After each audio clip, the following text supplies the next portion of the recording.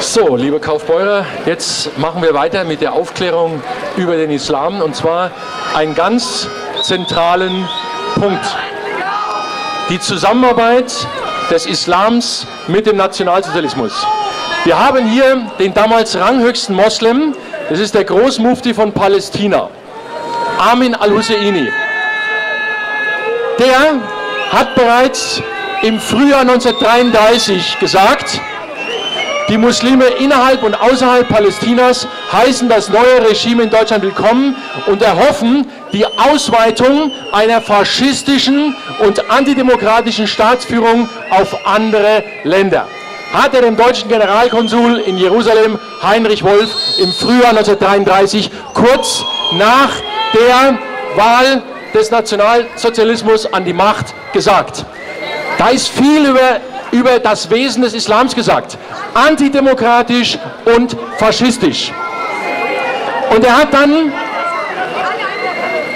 eine muslimische SS-Division gegründet, die SS-Division Hanschar, mit 25.000 muslimischen Freiwilligen. Hier sieht man ihn, wie er den Hitlergruß zeigt und seine muslimischen Freiwilligen besucht.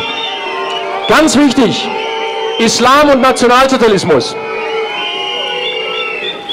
Und dieser Großmufti hat dann auch weitere nationalsozialistische Größen in Deutschland besucht und sich mit ihnen ausgetauscht. Hier haben wir den NSDAP-Gauleiter von Sachsen, Martin Mutschmann. Die haben sich getroffen und haben sich über die Gemeinsamkeiten ihrer Ideologien ausgetauscht. Al-Husseini hat gesagt, in vielen Bereichen laufen die Ideale des Islams und des Nationalsozialismus parallel. Einheit der Führung, ordnende Macht, Gehorsam, Disziplin, Kampf und Ehre im Kampf zu fallen und Bekämpfung des Judentums.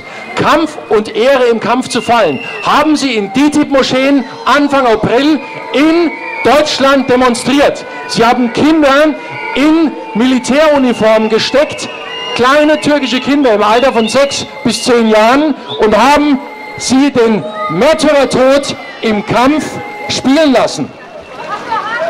In Deutschland, April 2018.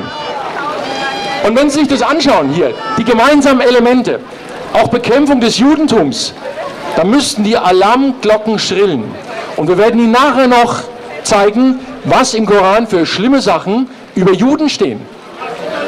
Natürlich nicht nur über Juden, auch über Christen. Da wird die knallharte Bekämpfung und Tötung von Christen gefordert, in Befehlsform. Ja? Und es gibt noch weitere aufschlussreiche Begegnungen dieses Großmuftis von Palästina, wie gesagt, des damaligen höchstrangigen islamischen Repräsentanten. Er hat auch Adolf Hitler getroffen, 1941 in Berlin. Und der Al-Husseini hat gesagt, Deutschland hat sich entschlossen, für die jüdische Gefahr eine endgültige Lösung zu finden, die ihr Unheil in der Welt beilegen wird. Das heißt, er wusste vom Holocaust, bereits 1943. Er wusste, dass die Juden vergast werden und er fand das gut. Und wissen Sie, dass Juden in ganz Deutschland mittlerweile bedroht werden von Moslems. Wir haben es in Berlin gesehen, wie ein syrischer sogenannter Flüchtling mit einem Gürtel einen Juden ausgepeitscht hat. Wir haben bereits einen Rabbiner, der in Berlin von einem Moslem mit einem Messer niedergestochen wurde. Ebenso in Frankfurt. Ja Leute, da könnt ihr, da könnt ihr schreien und pfeifen, wie ihr wollt. Das sind geschichtliche Fakten. Und das sollte man, wenn man sagt, man ist antifaschistisch, sollte man hellwach sein. Ja, rote Karte für Hassprediger. Gehen Sie zur nächsten Moschee und halten Sie es dort hoch. Da sind die Hassprediger und wir sind faktische Aufklärer. Sie bekommen bei uns heute nur Fakten, nur Fakten präsentiert. Hitler hat den Großmufti mehrfach getroffen und er hat gesagt, das ist jetzt ganz wichtig für alle Christen hier. Er hat gesagt, die mohammedanische Religion wäre uns viel geeigneter als ausgerechnet das Christentum mit seiner schlappen Duldsamkeit. Der Islam lehrt, den Glauben mit dem Schwert zu verbreiten und alle Völker diesem Glauben zu unterjochen. Hat er recht? Diese Lehre der Belohnung des Heldentums, der Kämpfer allein hat den siebten Himmel. Die Germanen hätten die Welt damit erobert, nur durch das Christentum sind wir davon abgehalten worden. Adolf Hitler, der hat den Islam gelobt, weil er auch den militärischen Eroberungscharakter des Islams erkannt hat. Merken Sie was, Leute?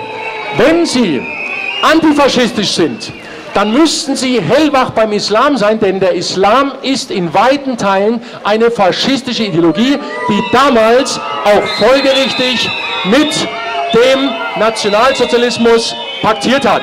Ja, das müssen Sie sich alles zu Gemüte führen. Das sind alles Fakten. Alles Fakten. Und weil hier manche hier ein rotes Zettelchen hochhalten, die haben es auch vorhin gekriegt, ja? Kaufbeuren zeigt rechtsradikalen Hasspredigern die rote Karte. Ja? Also, hier ist niemand rechtsradikal, wir haben es Ihnen schon erklärt. Wir sind konservative Patrioten, wir haben die Weiße Rose wieder gegründet, wir sind solidarisch mit Israel. Gell? Also können Sie gleich vergessen mit rechtsradikal. Ja? So, weiter. Der SS-Reichsführer Heinrich Himmler, ja, einer der ranghöchsten Funktionäre im Nationalsozialismus, hat gesagt, der Islam ist unserer Weltanschauung sehr ähnlich. Er erzieht mir in dieser Division, Hanscha, seine Menschen und verspricht ihnen den Himmel, wenn sie gekämpft haben und im Kampf gefallen sind. Genau das, was die Kinder in DITIB-Moscheen im April hier gespielt haben. Eine für Soldaten praktische und sympathische Religion. Seht euch an, Islam und Nationalsozialismus. Zwei Seiten einer faschistischen Medaille. Das sind, wie gesagt, alles historische Fakten. Und das Schlimme ist, Leute, es hat auch bis in die heutige Zeit seine Auswirkungen. Werden wir Ihnen gleich sagen. Himmler hat auch gesagt, Muslime sind die idealen Soldaten, die mit Fanatismus kämpfen und mit ihrem Tod im Kampf als Märtyrer schnurstracks in den Himmel gelangen. Der Islam, liebe Kaufbeurer, hat sich in der ganzen Welt nur militärisch ausgebreitet. Im Jahr 632 nach Christus, nachdem ganz Saudi-Arabien dem Islam unterworfen wurde durch Mohammed, hat der Islam von Saudi-Arabien aus 56 andere Länder militärisch erobert. Ausschließlich mit Gewalt und mit dem Schwert. Und wenn hier Christen unter Ihnen sind, Sie wissen noch, was der Papst Benedikt 2006 in der Regensburger Uni gesagt hat. Zeig mir doch, was Mohammed Neues gebracht hat, da wirst du nur Schlechtes und Inhumanes finden, wie die Forderung, den Glauben mit dem Schwert zu verbreiten. Papst Benedikt XVI., deutscher Papst, das Oberhaupt aller Christen. Also wenn hier Christen anwesend sind, verinnerlicht das, was der deutsche Papst gesagt hat. So, nächstes Plakat, ganz wichtig. Wie dieser, wie diese in den Gulag mit mir, schreit sie gerade. Das sind die roten, das sind die roten Faschisten, gell? die Stalin zum Vorbild nehmen und uns in den Gulag schmeißen wollen. Ne? Nur weiter so, nur weiter so. So, hier sehen Sie, wie der Nationalsozialismus weiter in der islamischen Welt verehrt wird.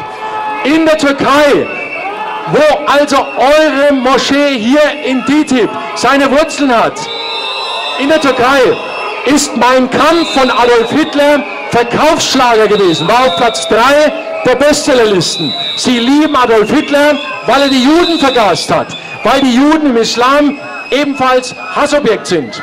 Hier bei einer Demonstration in Pakistan 2006 Gott segne Hitler, God bless Hitler, Moslems. In der islamischen Welt, Hisbollah und Hamas zeigen den Hitlergruß. Und hier eine Muslimin bei einer Demonstration in London 2006, seid vorbereitet für den wahren Holocaust, der noch kommt.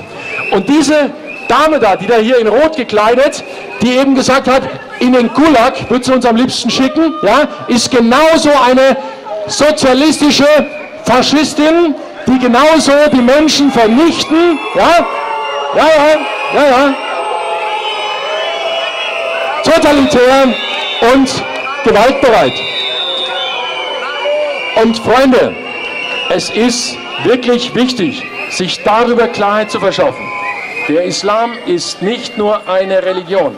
Er ist eine totalitäre politische Ideologie mit Macht, Anspruch, verfassungsfeindlichen Bestandteilen, Gewalt- und Tötungslegitimation und einer barbarischen Rechtsprechung der Scharia. In zehn Minuten mehr. Danke.